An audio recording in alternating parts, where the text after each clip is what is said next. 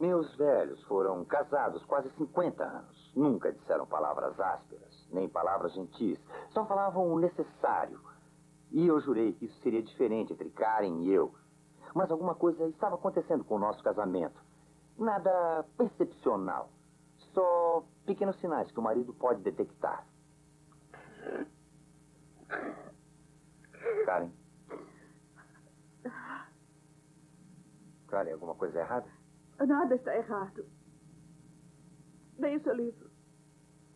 Você está chorando? Eu tentarei fazê-lo em silêncio.